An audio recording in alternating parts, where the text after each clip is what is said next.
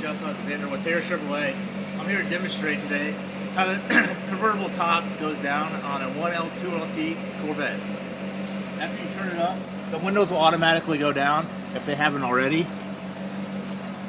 Get out, the back side pops up. There's a button located right under the driver's side. And easily stored it in. And it's that simple.